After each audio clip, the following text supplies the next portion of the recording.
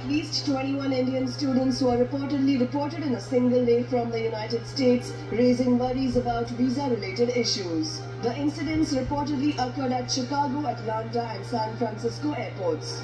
Many of these students from Andhra Pradesh and Telangana had completed their visa procedures and arrived in the United States with the intention of pursuing higher education. According to reports in Deccan Herald, these students were detained for a short period of time after immigration agents thoroughly checked their documents. Students expressed their confusion, claiming that they had met all of the conditions for their visas and were ready to start their classes in their respective colleges. Reportedly, the students claimed that they were not provided appropriate information on why they were sent back and suspected it had something to do with their visa papers. Students reportedly claimed they were told to leave peacefully. Some claimed that the common universities to which they were on their way included those in Missouri and South Dakota, reports added.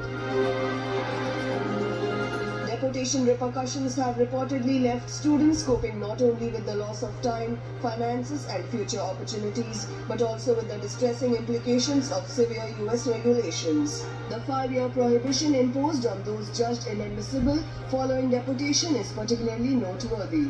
Due to COVID-19, the United States has implemented stricter visa rules for international students, potentially compelling Indian and Chinese students to return home or face deportation. Reports note that these laws prevent students from completing their education online in response to concerns about quality and economic implications.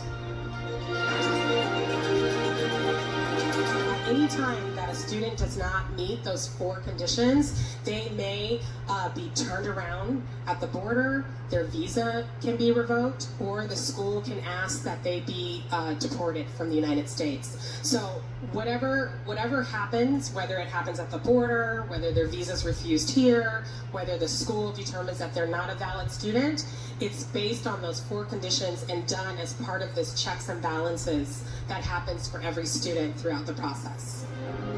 The Chief Minister of Andhra Pradesh has reportedly adopted a strong attitude towards solving the troubling issue of Indian students facing the risk of deportation from the United States. Chief Minister Jagan Mohan Reddy has inquired about sending back some Telugu students from America. Reddy is looking into this matter and will address it to the Ministry of External Affairs, Government of India for resolving this as soon as possible because all students have a valid US visa for higher studies and also keeping in mind the careers of these AP students, Andhra Pradesh Non-Resident Telugu Society said in a statement. Furthermore, the state government urged students to be prepared to answer any questions from the American officials as well as to bring proof of finances and other relevant documents such as understanding non-immigrant visa laws and learning about the university and course while traveling to other countries for study abroad plans, reports added.